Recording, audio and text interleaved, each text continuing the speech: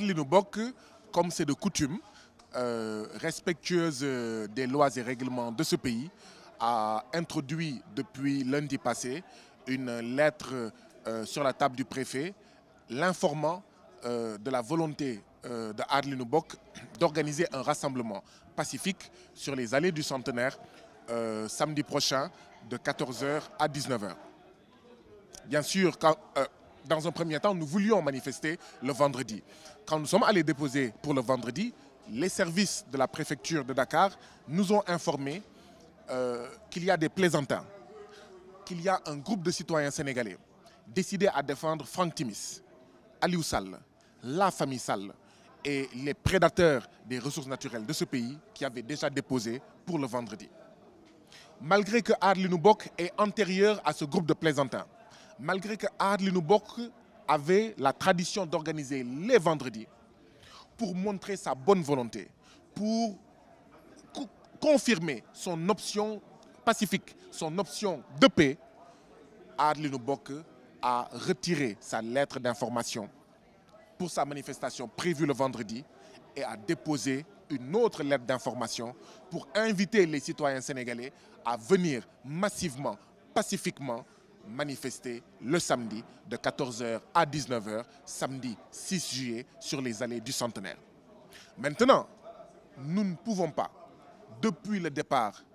montrer des gages de notre option pacifique et continuer à avaler les couleuvres antidémocratiques et antirépublicaines de la préfecture de Dakar. C'est pourquoi nous euh, prenons à témoin l'opinion publique nationale et internationale pour dire que nous n'accepterons aucune interdiction de notre manifestation, autorisée ou pas, à Arlinoubok, avec les citoyens sénégalais, manifestera samedi pacifiquement sur les allées du centenaire pour exiger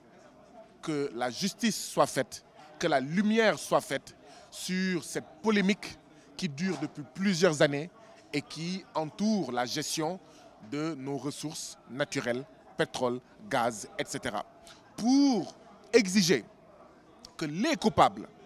de la spoliation des ressources naturelles des citoyens sénégalais soient identifiés, soient jugés, soient sanctionnés. Pour que les avoirs, les ressources volées au peuple sénégalais lui soient restituées. Parce que nous estimons que le peuple sénégalais, qui est un des 25 peuples les plus pauvres du monde, a plus besoin de ces ressources que Franck Timis.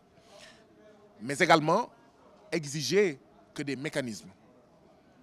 qui vont permettre une gestion démocratique, transparente de nos ressources soient une bonne fois pour toutes euh, identifiées,